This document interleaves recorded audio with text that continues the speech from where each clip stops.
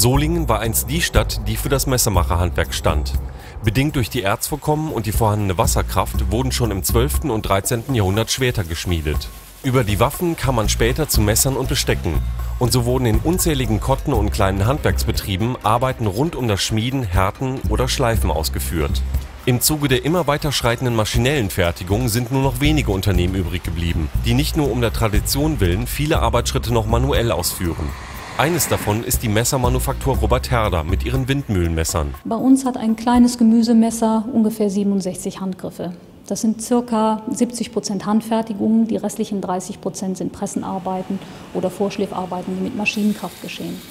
Wir halten es eigentlich damit, ähm, dass wir sagen, die Arbeiten, die man besser mit einer Maschine machen kann, weil präziser, das sind zum Beispiel Fräsarbeiten und Bohrarbeiten bei den Griffen, das machen wir mit der Maschine. Aber die Arbeiten, wo es ganz besonders darauf ankommt, dass es sehr fein ist und wo wir der Überzeugung sind, die menschliche Hand macht es besser, da gehen wir in die Handarbeit. Und das betrifft beispielsweise das äh, Schleifen bzw. das Pliesten, also das Feinschleifen, womit wir eben die feinen Ausschleifungen der Klingen machen.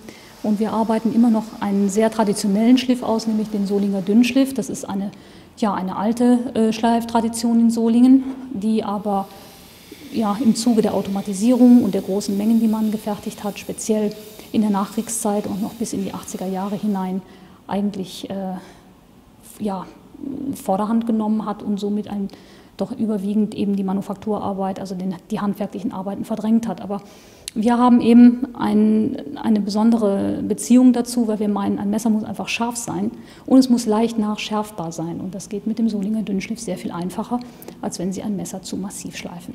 Wichtig bei der manuellen Bearbeitung von Messern ist die handwerkliche Ausbildung. Der sogenannte Ausbildungsberuf des Teilezurichters war Ende des 20. Jahrhunderts fast ausgestorben.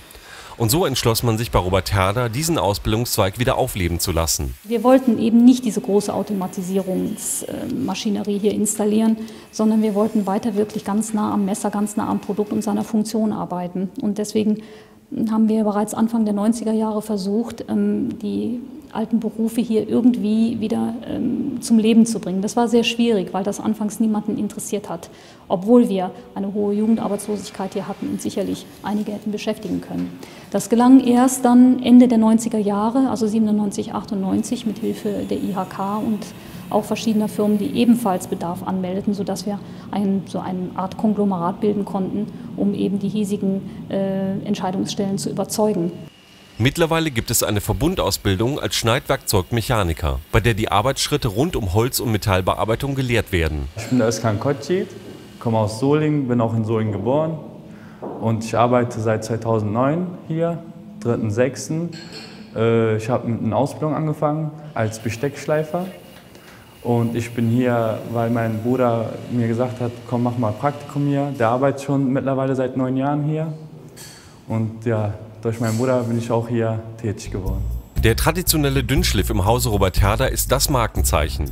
Die Messer sind scharf und benutzt man sie richtig, bleiben sie es auch. Sogar über Jahrzehnte.